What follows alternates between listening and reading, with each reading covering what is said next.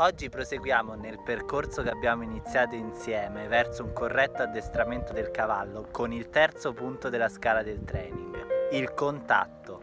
Esso può essere definito in parole molto semplici come la connessione che si deve creare tra cavallo e cavaliere, per meglio dire tra le mani del cavaliere e la bocca del cavallo. Spesso mi è capitato di sentir parlare della ricerca della tensione ideale nelle redini.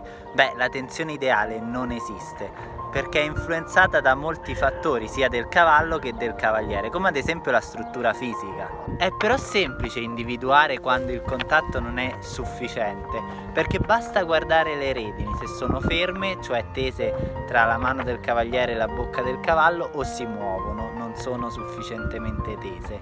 Questo perché? Perché devi ricordare che le redini sono il ponte di connessione tra te e il cavallo, tra te e la bocca del cavallo. Quindi deve risultare esserci sempre una leggera tensione che le tiene ferme. Ciò non significa che per tenere le redini tese devi iniziare a tirare, assolutamente no.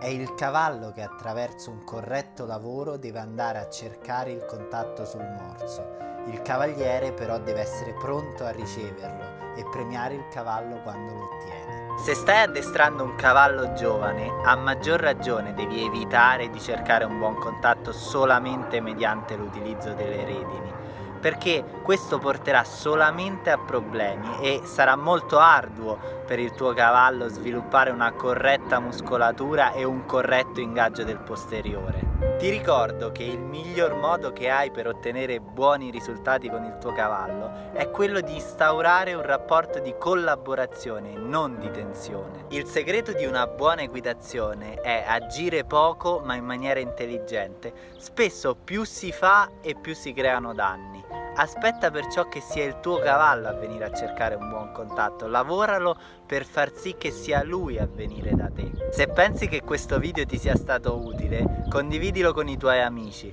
Ci vediamo presto nei prossimi video.